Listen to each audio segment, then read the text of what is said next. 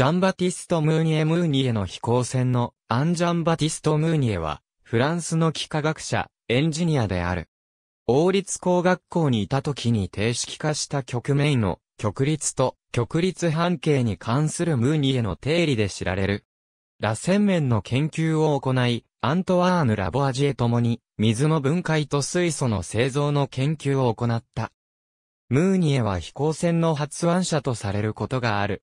モンゴルフィエ兄弟の気球による初飛行から間もない1784年に、飛行船の計画を科学アカデミーに提案した。84メートルの長さの楕円形の機能に、ボート型のゴンドラを吊るして80人の人力で、駆動するプロペラで推進する計画であった。実行には移されなかったが1852年に飛行船の動力飛行に成功したアンリ・ジファールの着想に影響を与えたとされる。